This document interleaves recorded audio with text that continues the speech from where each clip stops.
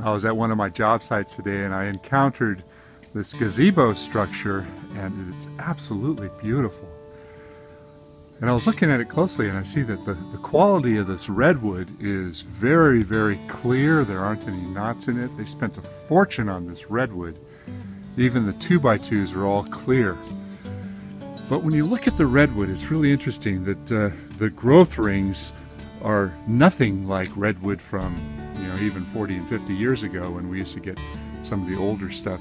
It's uh, second growth and it's fairly fast growing, but it's still sold as high-end clear redwood. So I'm sure they paid a fortune for this wood. Now I was also observing observing the connections here. They put steel plates on the back side here on all of these areas and they bolted it in.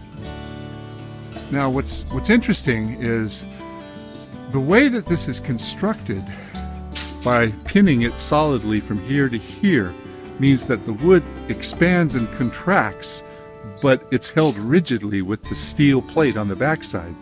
And as you can see, this fairly new structure is already starting to develop cracks because the wood is always going to move, especially if it's an outdoor piece of wood.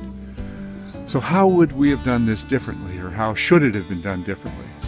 You know, there's a couple things. Well, for one, the uh, connectors right here um, they look like they were galvanized, but some of them have rusted through and that's causing streaking. That's a problem. Um, the steel is an interesting idea, but pinning it from here to here is probably not the wisest choice. Had they pinned it here and here only, and here and here only, then the wood would have expanded and contracted on that metal plate on the background. And it probably would have held up much better. Uh, another option would have been to put a slot in through here and join it inside, kind of a mortise and tenon joint. Um, that also would have probably been better to pin it here and here. Uh, that actually, I believe, would have been a better way of going. A small steel slot in between here with one pin here and one pin up here. That would allow the wood to expand and contract, but it would have kept the alignment of these pieces in, intact. Um, it's hard to be critical of something so beautiful, but it's sad that a lot of modern woodworkers don't understand and recognize some of the techniques that are really well known from old school woodworking.